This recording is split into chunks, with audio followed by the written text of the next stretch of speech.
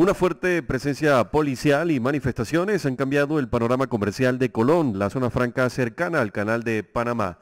Colón, la segunda ciudad más importante de ese país, ha sido paralizada por sus habitantes en medio de la huelga general con la que exigen al gobierno respuestas ante el colapso de comunidades enteras.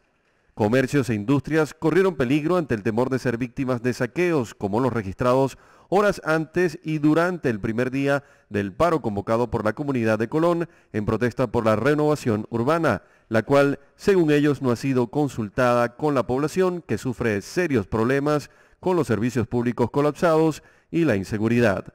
El gobierno tomó medidas y está llamando a la calma. Condenamos los actos de vandalismo protagonizados por grupos de delincuentes, apoyados por personas con intereses políticos y otros del crimen organizado adversos a nuestra administración. El gobierno de la República actuará de forma enérgica contra todos aquellos actos y personas que pongan en riesgo la pacífica convivencia de los colonenses. Gremios y otras organizaciones crearon el Comité de Lucha por la Salvación de Colón, que se opone al plan de renovación urbana que adelanta el gobierno del presidente Juan Carlos Varela en el casco antiguo de esa ciudad, por considerarlo perverso, ya que según ellos lesiona a propiedades de los habitantes de la zona, desalojándolos ilegalmente.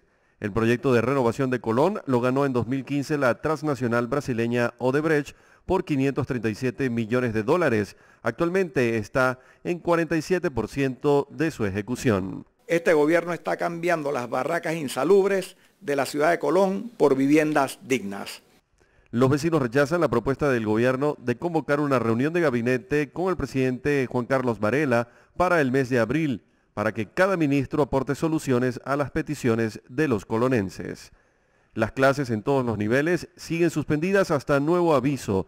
Los maestros se han sumado al paro. También denunciaron daños en ciertas escuelas.